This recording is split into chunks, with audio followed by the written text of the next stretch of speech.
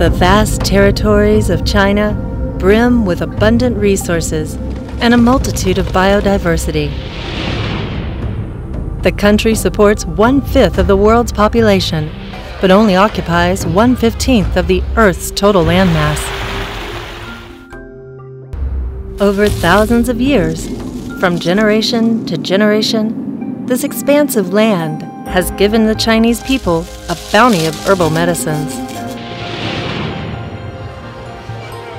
Spring and summer bring so many colors to the world of plants. In the world of herbs, their beauty creates a competition that is comparable to a beauty pageant. Each herb blossom feeds the rivalry by drawing our attention to their sophistication, beauty, and delicateness like a band of sisters.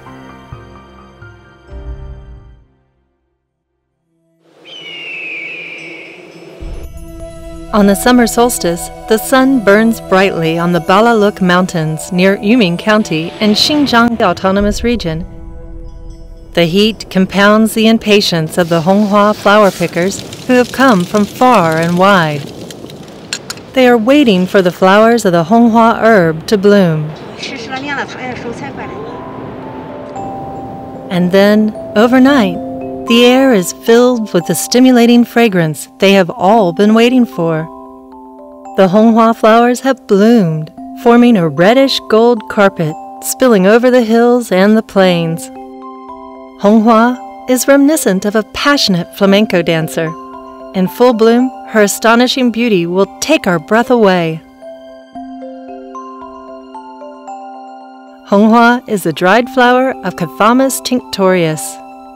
It is used to activate blood circulation, dredge meridians, and dissipate blood stasis to relieve pain.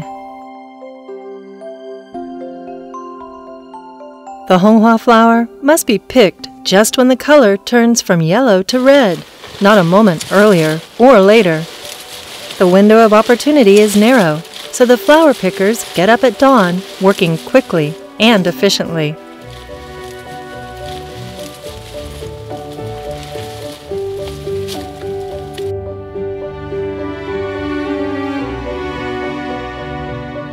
A couple of months later, in a place thousands of miles away, it's time to harvest another flowering herb. Its Chinese name is similar to Honghua, but its market value is a thousand times more.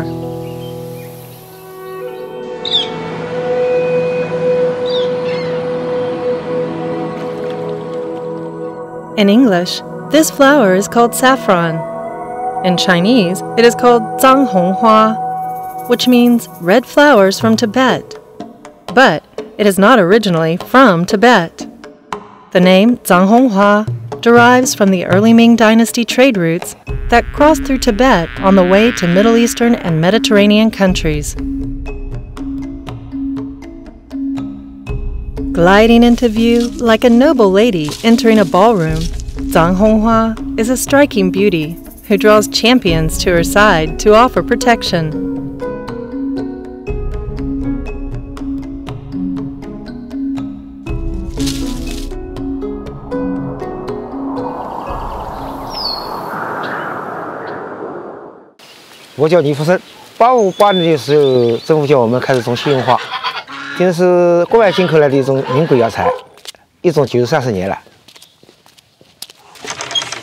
This precious flower blooms in early November during daylight for only a couple of hours and then quickly fades away.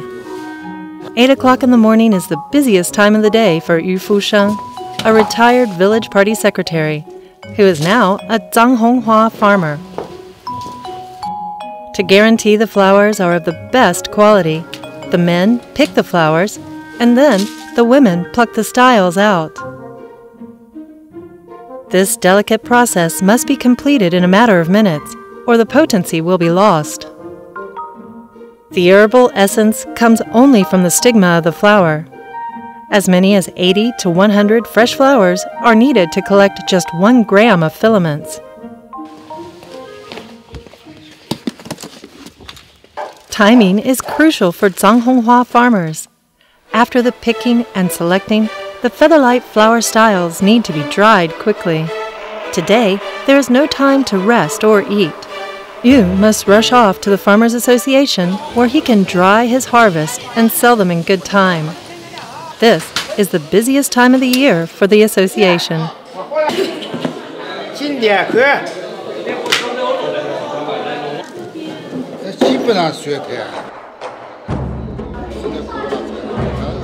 Yu stands to make 25 to 30 renminbi per gram during this visit. This year's harvest was good. 二十四点八啊。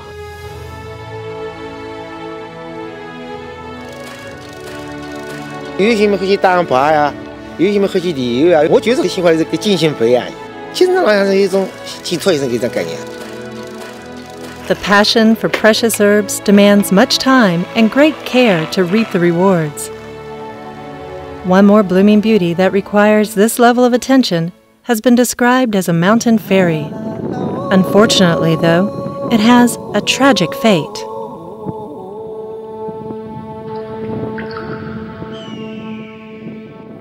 The Mila Mountains, located on the borders of Lhasa and Nyingchi cities, is where the saints and fairies live, according to Tibetan lore. It's early autumn, and the icy cold wind is already blowing hard. Climbing up these mountains at 4,000 meters above sea level is physically challenging, even for local Tibetans.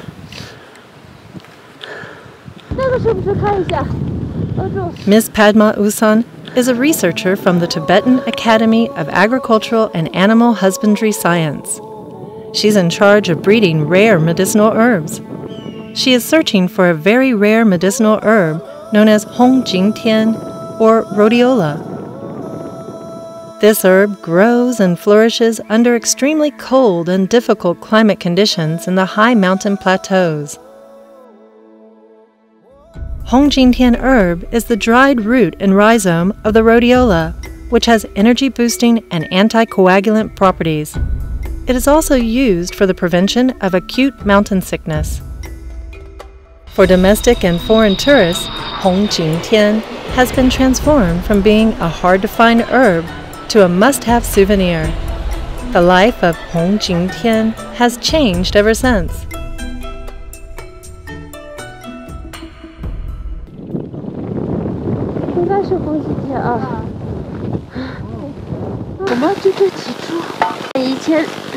过了，以前这一块我们来的时候都很多的，现在都找不到了。The first research project that Padma applied for when she started working with the academy was the breeding of Hongqingtian. 我有一个叔叔是藏医医生，他就说现在很多药材就是嗯、呃濒危了，以后对这个藏医药的发展会受很大的影响。Padma has been working with the Hongjingtian breeding project for over 11 years, but the result has not been very promising. There is still a long way to go. 刚开始的话，红景天的种子发芽率特别低，只有百分之三十。然后我们要用各种激素去调节它，把它的这个发芽率提高。 但是最大的困难啊，就是在移栽过程中呢，我们失败了很多次。每次从瓶子里面移过来，它就活不了。Every September, if you happen to be up in the high snowy plateau with its thin air, you will see a woman doing her field research. 哇，好大啊！它，真是那么大！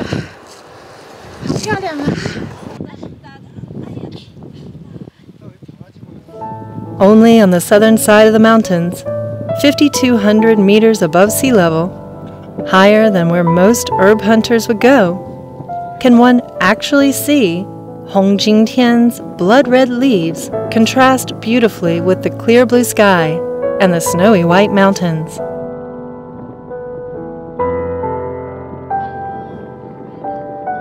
Padma happily but cautiously collects some seeds and leaves from this Hongjingtian bush.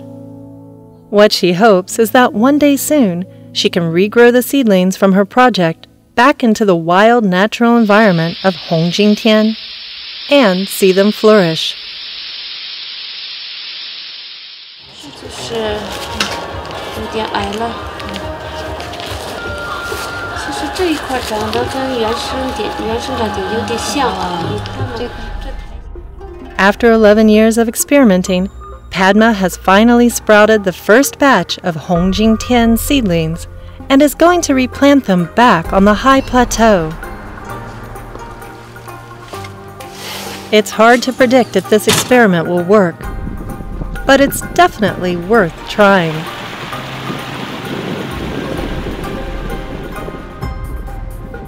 When the legendary Hongjingtian herb met the devoted Tibetan researcher Padma, the seeds of its restoration began to take root. Despite the hardships that might be ahead, Padma plants the first batch of her seedlings back into the motherland, filled with hope and love.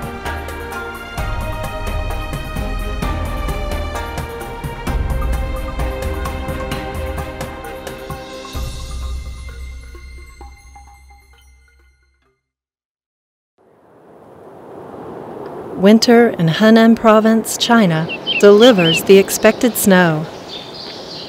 The snow is a sign 62 year old Zhang Xiaoshou has been waiting for because it means her daughter will visit soon.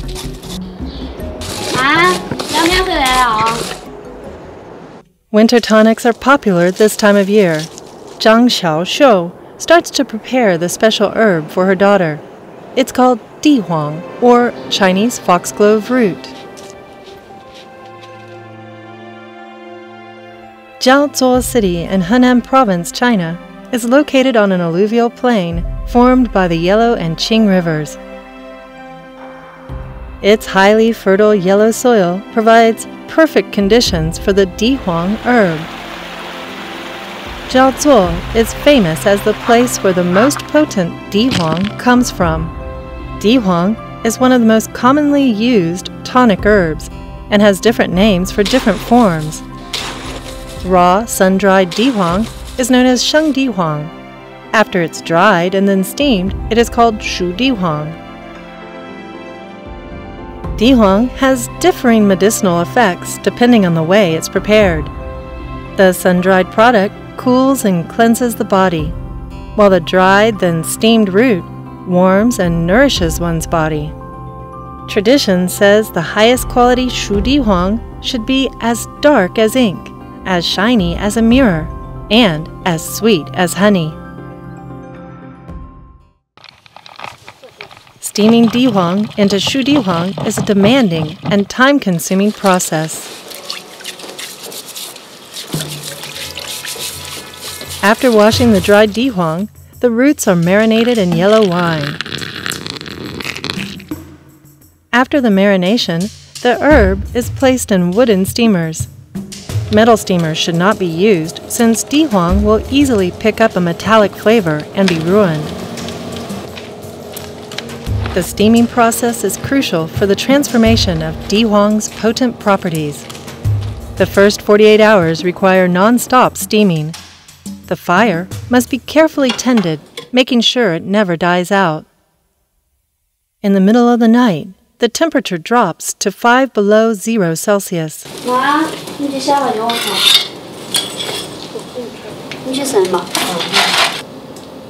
Zhang's daughter arrives earlier than expected to relieve her mother of her shift.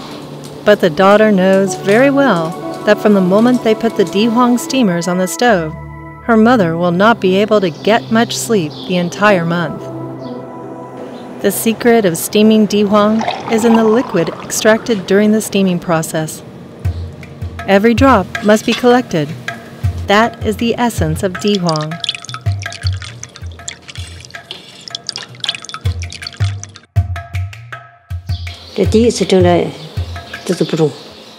Zhang checks the color of the dihuang after the first steaming by splitting it open.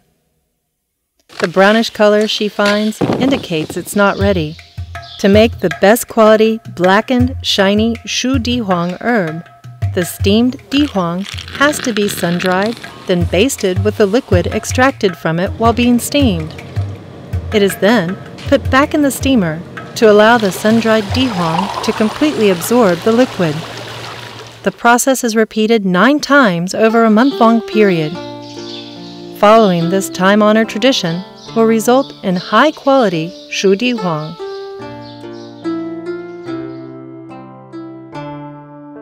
Modern processes use machine operated sealed steaming jars with high heat and pressure and reduces the whole process to 24 hours. The traditional month long steaming and sun drying method is rarely practiced anymore. From this wintry courtyard of the Zhang family, we watch as a mother tirelessly prepares Shu Di Huang herb in the traditional way. Her devotion to the process reveals her love for her daughter. It's not uncommon to see the same thing happen with other ordinary families all across China. Family members diligently turning raw herbs into medicine to show their love and care for each other.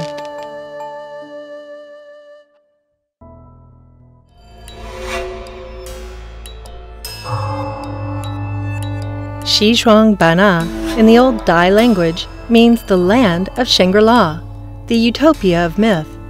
Here, far away from the noise of big cities, is a real place and a kind of paradise. 80 year old Dai doctor Kang Lang Xiang is reading from the palm leaf manuscripts about a miraculous local species, Long Xue Shu, or the dragon blood tree. This tree is an ancient plant with extremely valuable medicinal properties. Dai doctors know the secrets of applying it clinically. With proper instruction from Dr. Kang Lang, apprentice Zhao Yinhong has learned the uses of Long Xue Shu. The Long Xue Shu tree trunk naturally contains a reddish resin. In its solidified form, the resin looks like clotted blood, or xuejie, which means dried blood in Chinese medicine. The ancient Chinese medicinal texts record xuejie as the sacred herb for resolving blood stasis. It moves the blood and relieves pain. It also treats hemorrhages and stops bleeding.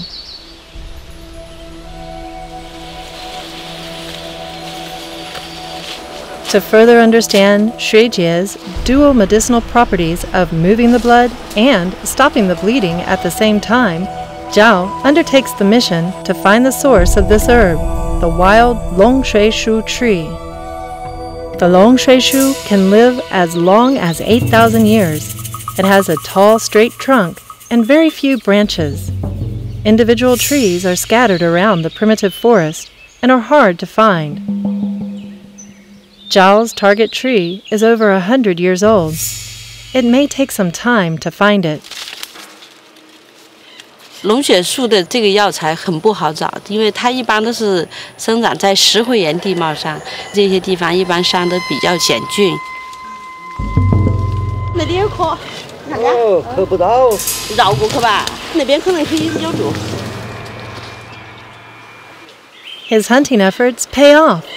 and Zhao finds a hundred year old Long Xue Shu tree deep in the forest.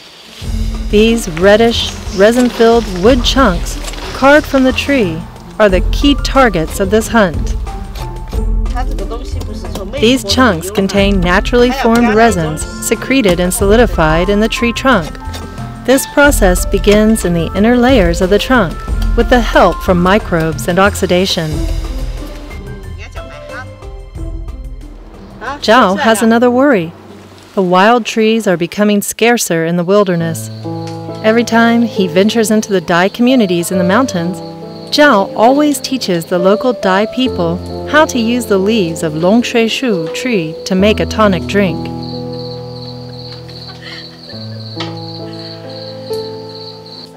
Drinking the tea made from the fresh leaves of the tree helps reduce fatigue and lower blood sugar levels.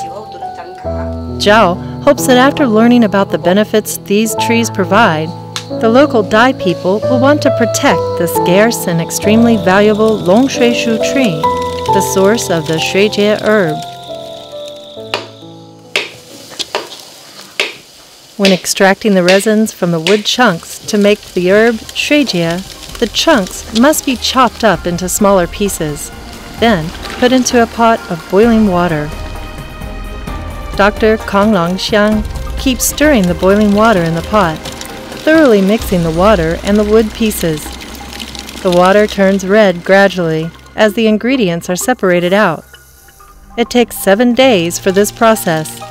After seven days, the red liquid finally solidifies into a chunk called xuejie.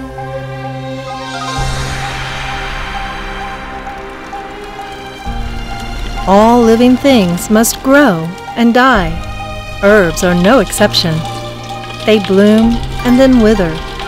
In the ever turning wheel of reincarnation, people persist in their efforts to enhance the warmth of life with herbs. Yet, the baptism of time does not diminish the process, because this ongoing cycle is a silent witness to the glory of life.